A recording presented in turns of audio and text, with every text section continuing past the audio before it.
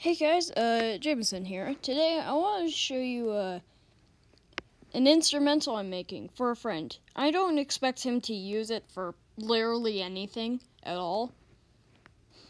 I'm I'm just using it as like a concept for an FNF mod regarding his uh, new version of Neon Wolf called Psycho Wolf.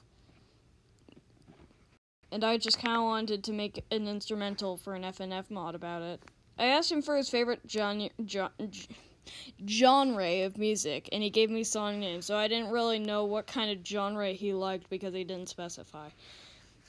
So I just kind of went for multiple. I hope you like it, Neon. Uh, here's here's the instrumental. I hope you like.